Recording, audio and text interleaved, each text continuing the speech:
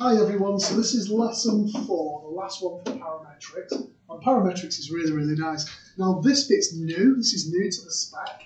We never used to integrate, but if you can kind of follow this this way, we can um, we can sort it out. So it says the area is the integral of y dx. So then it says find dx by dt in terms of t and make dx the, the subject.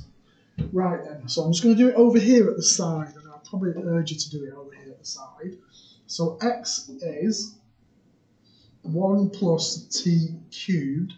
So dx by dt is 3t squared. It says make dx the subject, because I want to replace this dx. So dx is 3t squared dt. So that's going to become 3t squared dt. It says convert the limits. So I'm doing x is 1, I need to change it into t. So that, that's one bit here. So now I've got to look at the limits. So when x is 1, I've got 1 is equal to 1 plus t cubed. If I take away the 1, it's 0. Cube root it, it's 0. And then for the 28, I've got 28 is 1 plus t cubed. If I take the 1, it's 27. If I cube root it, it's 3. So these are my new limits. Uh, and then I substitute anything uh, into uh, into t's. So that y changes. Uh, y is going to be t to the 4 plus t. And that bottom limit there we've said is going to become a 0. And that top limit we've said is going to become a 3. So my integral changes. It's a bit like integration by substitution, really, isn't it? So it's now not to 28. Uh, ah, no, it's not 28. It's not to 3. Not to 3. t to the 4 plus t, which is the y replaced, and a 3t squared dt.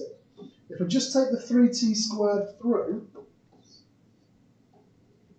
I've got 3t to the 6, 3t cubed dt there. Exact area means I've got to integrate. I can't just use my calculator. My calculator will give me a decimal answer. So sorry about this. You have to do the exact.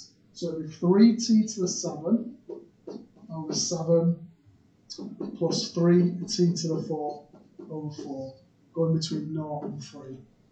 So I've got 3 lots of 3 to the 7 over 7, plus 3 lots of 3 to the 4 over 4, minus, in this case, if I stick 0 when you get 0 out, we don't know how to get that. Uh, and it will give me, according to the completed part, oh no, what am I doing?